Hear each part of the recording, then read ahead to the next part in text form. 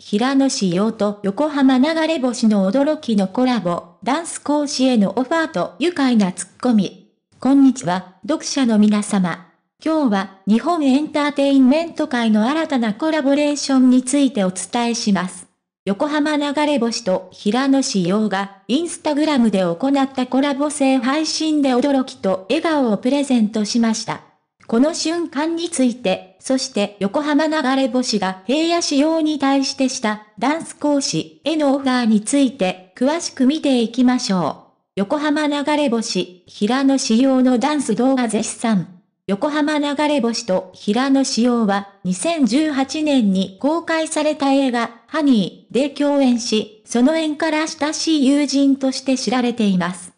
そして30日には平野が一人で行っていたインスタグラムライブの中盤に横浜流れ星がサプライズ登場。ファンからは驚きの声が上がりました。このコラボライブでは、平野志陽が自身のダンス動画を公開し、それに横浜流れ星が感激のコメントを送った瞬間がありました。ダンスの動画良かった、よ。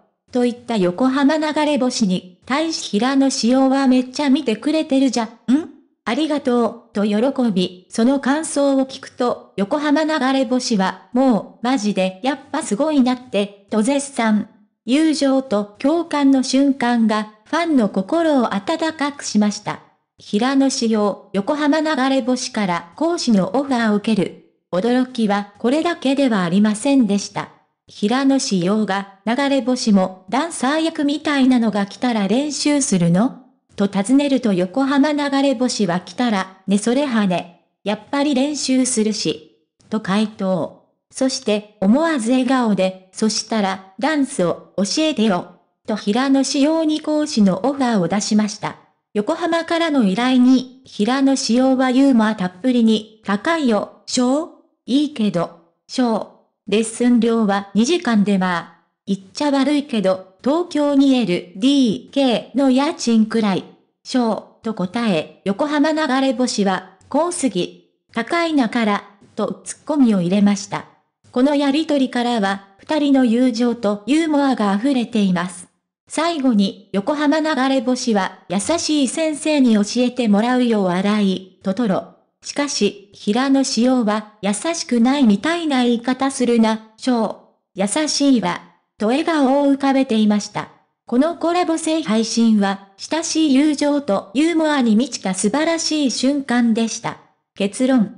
平野仕様と横浜流れ星のコラボ性配信は、ファンにとって嬉しいサプライズと笑顔を届けました。横浜流れ星のダンスへの絶賛と、平野仕様へのダンス講師のオファーは、彼らの友情とユーモアを示す素晴らしい瞬間でした。エンターテインメント界に新たな明るい話題を提供してくれたこの瞬間を、ファンは心から楽しんでいます。このコラボレーションの未来には、さらなる驚きと笑顔が待っていることでしょう。私たちは、彼らの友情と才能が、さらに多くの人々にインスピレーションを与え、笑顔を届けてくれることを期待しています。読者への挨拶。今回の記事をお読みいただき、ありがとうございました。